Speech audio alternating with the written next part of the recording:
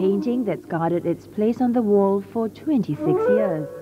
In it, 14 gibbons swing playfully from branch to branch, carefree, exhilarated, almost alive.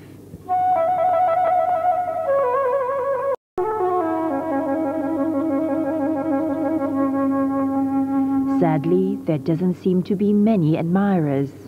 The painting, stretching an entire wall, hangs almost unnoticed despite its size. The creator of this work is the late Chen Wenxi, renowned Chinese painter and arguably one of the best of his time. Yet the mastery of his strokes seems to melt into the wall.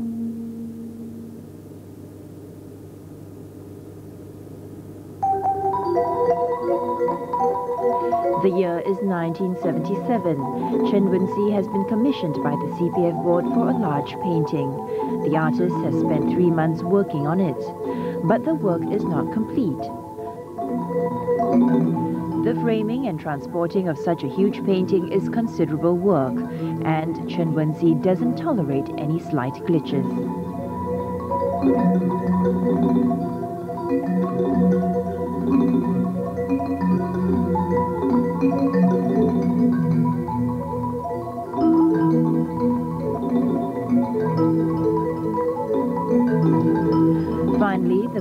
Finds its place on the wall, and the artist can stand back and admire his work.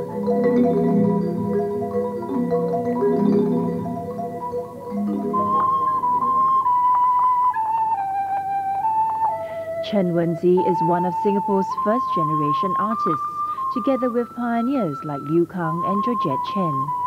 He was born in 1906 in a Shantou village in Guangdong province. It was a tiny village with a mere population of 300. The Chen family was small landowners.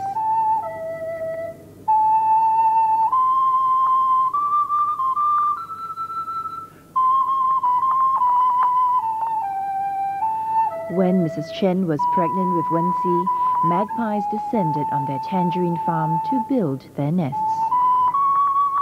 To the Chinese, this was an auspicious omen. Chen Wenxi once wrote.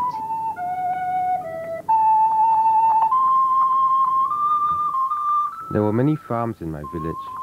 Magpies and sparrows were a common sight. I was captivated by the sounds they made, the way they rushed for food, and the elegant sounds they made as they soared through the air. They soon became my best friends. Discarding more conventional methods, Chen Wenxi paints with his fingers, following the ancient art of his forefathers. Slender branches support birds or monkeys, and his pictures have a formal elegance so often found in historic Chinese scrolls. As shown in this 1960 newsreel, Chen Wenxi had another artistic talent. He too has exhibited widely and has wide influence as a teacher of art.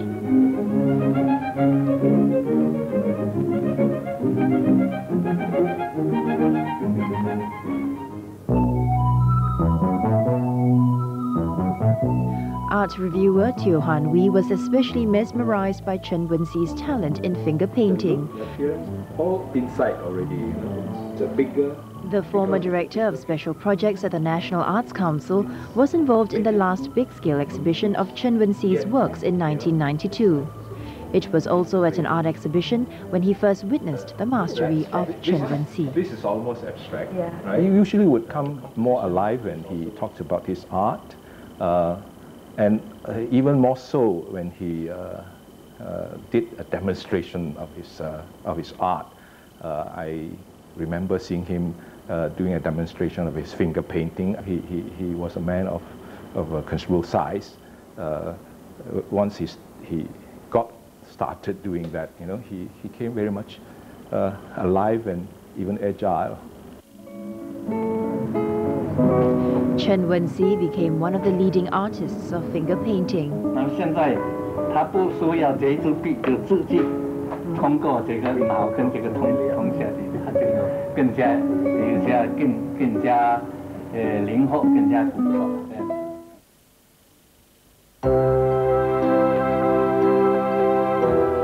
Dr. Earl Lu was a young surgeon when he first started taking art lessons from Chen Wenxi. Today, the 75-year-old continues to paint vigorously at his clinic. Through the long decades of tutorship, Dr. Lu began to understand why his teacher and friend had little patience for anything else besides his one overriding love.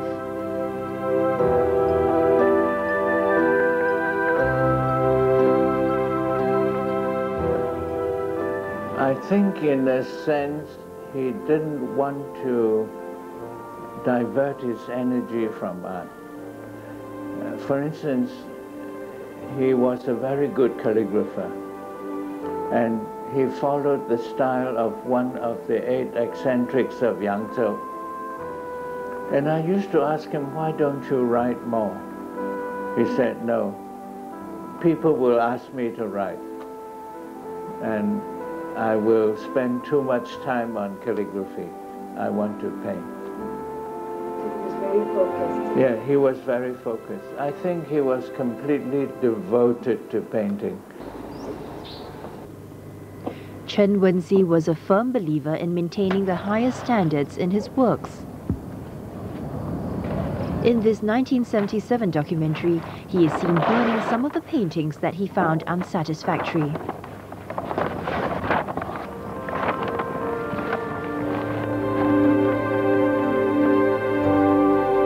Dr. Earl Lu tells us with a knowing smile that the truth was less dramatic. Yet there were some things that remained true to the end in the artist's life. You never see Wenxi actually do that. He just tear it up and throw it away. But if you leave poor paintings, your fame would suffer later on. He had achieved a lot as an artist and he knew it. He knew he was good. And he was very critical of other artists who don't come up to standard. And he said so uh, without trying to be polite. I remember one Taiwan official brought his portfolio along and said, Dr. Chen, can you tell me what I can do to be better? He said, 问题太多，不能谈. He said, too many problems we can't discuss. and I agreed with him. this fellow was original but horrible. but he was that straightforward even to a high official and rich man. Painting was his life. Uh, once I was in his house on a Sunday and his family was going to church. I asked him, uh, Dr. Chan, what, in what do you believe? He laughed and he said, I believe in paintings.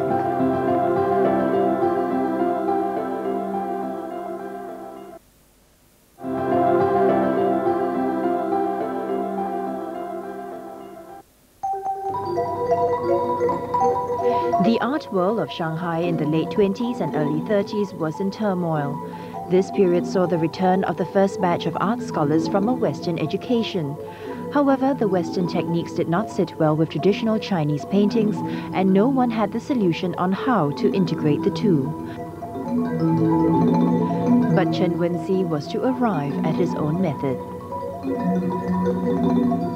Chen Wenxi didn't appear to be very, very uh, bothered by all this debate he just continued with his creation. He's created, uh, uh, he was like, I would like to use this example, he was like a, a person proficient in two or more languages. Um, he didn't see the need to mix the languages. Chen Wenxi had uh, absorbed, had taken all those sources uh, and reinvented, uh, reinterpreted, in a way that is highly individualistic, unique, uh, which, which uh, uh, in, in, in the style that bears a, a distinctive stamp of its own.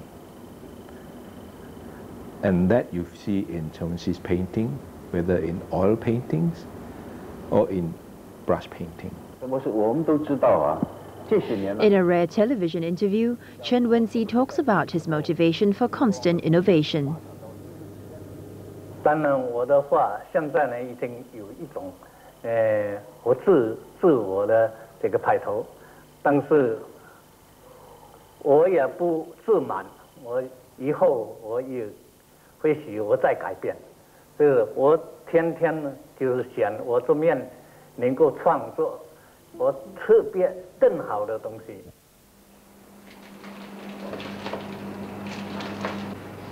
Johnny Quek has been collecting Chen Wenxi's works since the 70s. Interestingly, the businessman who travels frequently to China observes that Chen Wenxi's works are gaining increasing repute back in his country of origin. 在中国人来看这个文西的图画，他们也是明白它很好。 但是中国是一个地广人多的地方，很多人也会画很好的图画，就是这样，他对文西的话还是有很高的评价。我们自己的人可能比较不明白一块的宝在这里，开始觉得他画的很好，后来再看看他的那个店呢，再看看他的人呢，都越来越觉得舒服了。那么你跟他交谈也是很很有对自己那个，他能够祈祷你看那个中国画嘛，所以慢慢你越觉得他有深度嘛，越觉得深度你就越会喜欢他。Johnny now owns more than 300 Chen Wenxi paintings, possibly one of the largest collections by a private collector. 一直说他应该画更好的，留下来更好的留下来，他是很简单的。他当然他从来没有讲说他会要死的，这个他是要一百二十岁的人呢，每次是要跟齐白石比老，他是觉得他比齐白石还厉害，所以他每次是要比比比齐白石更老。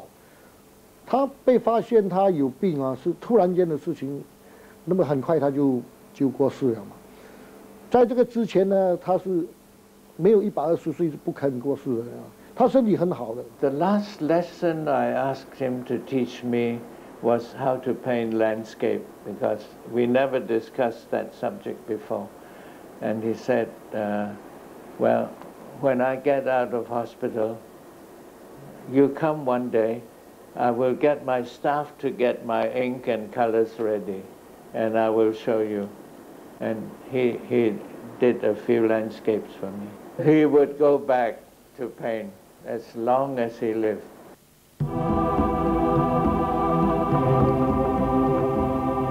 Chen Wenxi died in 1991, leaving behind two unfinished works in his gallery. He was 85. In his lifetime, Chen Wenxi achieved many accolades from his adopted homeland. In 1964, he received the Public Service Star. In 1975, he was conferred honorary degree of Doctor of Letters. In 1992, his son, Dr. Chen Xiu-min, received the Meritorious Service Award on his father's behalf. It was the first time an artist had been honored posthumously.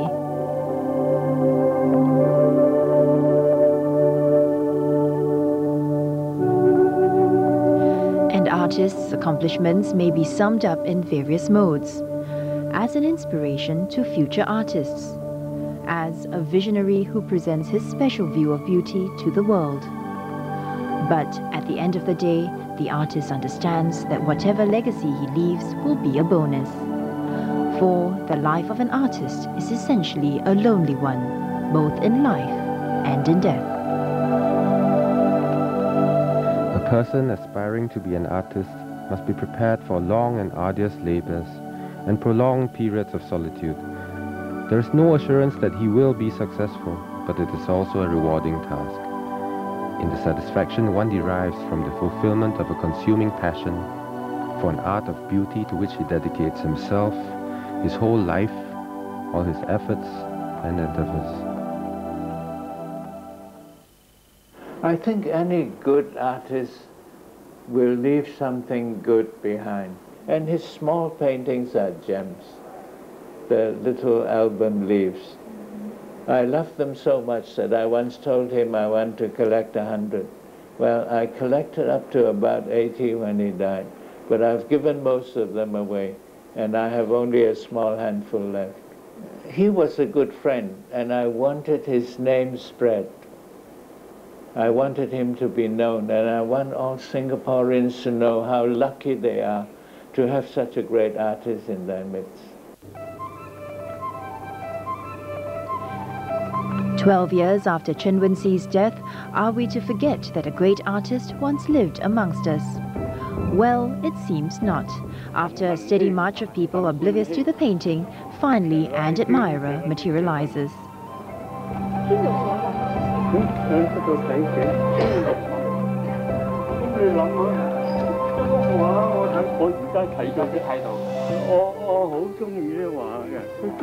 喺嗰度睇嘅。咁你谂下，嗰幅画我睇，我而家睇咗啲睇到。我我好中意啲画嘅，佢最出最出名画马骝啊嘛，佢呢个哦一号啊，差唔多可以讲得话全世界啊讲得中国画家啦，全世界画马骝系最出名。